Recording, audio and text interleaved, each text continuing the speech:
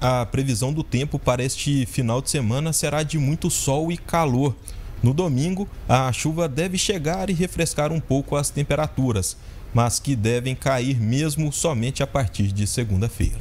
De acordo com o site Clima Tempo, no sábado, as temperaturas variam de 23 a 36 graus.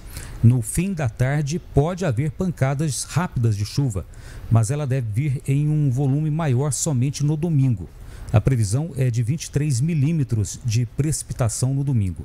Já a temperatura ainda fica alta e a máxima deve ser de 34 graus. Já a umidade relativa do ar, que não passa dos 40% no sábado, deve subir para 83% com a chuva. Bem, o alívio nesse calorão deve vir mesmo só na segunda-feira, com a temperatura máxima ficando na casa dos 28 graus e com mais possibilidade de chuva. Para a segunda-feira, o clima-tempo indica até 20 milímetros de precipitação. E no decorrer da próxima semana, deve ser de temperaturas máximas variando aí entre 27 e 30 graus e chuvas até a próxima quinta-feira. É, e atenção para o alerta para este fim de semana.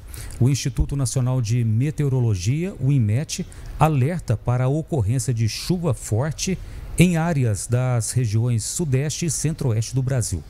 No domingo, o volume de chuva pode passar de 100 milímetros em algumas regiões. Bem, a partir de hoje, o calor forte combinado com o aumento da umidade vai potencializar a ocorrência de temporais localizados com rajadas de vento e também possibilidades de queda de granizo em São Paulo, Triângulo Mineiro e faixa oeste e sul de Minas Gerais, podendo até atingir, atingir até regiões próximas a nós aqui.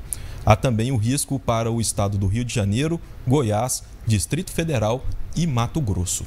Bem, no sábado, amanhã, com a aproximação de uma frente fria pelo litoral da região sudeste, a chance de temporais com rajadas de vento pode variar entre 80 e 100 km por hora de vento e queda de granizo é grande no sul de, no sul de Mato Grosso do Sul, São Paulo, sul de Minas Gerais e no Rio de Janeiro. Bem, já no domingo, os temporais podem se espalhar pela área central do país.